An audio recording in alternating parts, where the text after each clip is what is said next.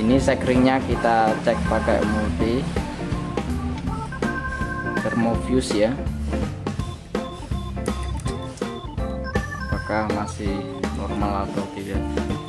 Dan ternyata thermofuse nya ini putus atau rusak. Sekarang kita akan ganti. Untuk spek thermofuse nya harus disesuaikan seperti bawaannya dulu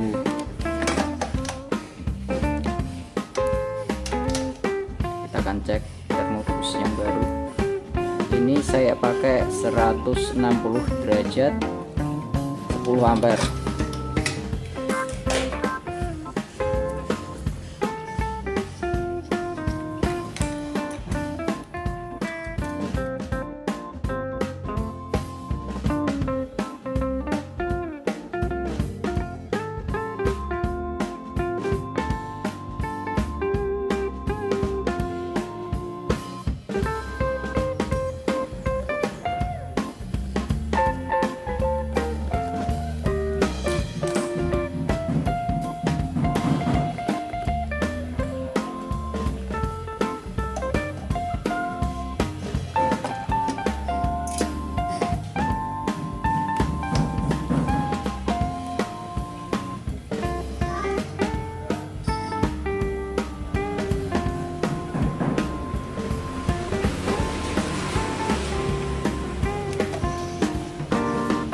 sekarang kita tinggal pasang kembali.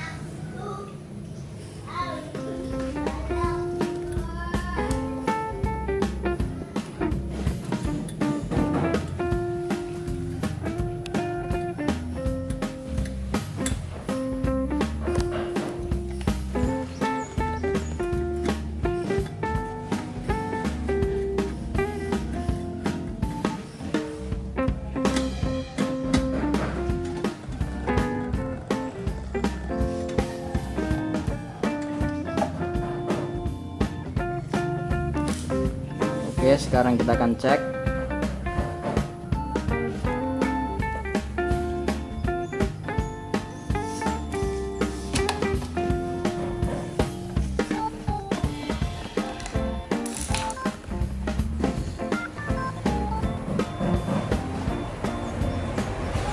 Oke, lampu indikatornya udah menyala. Ini untuk memasak. Oke. Sekarang kita tutup.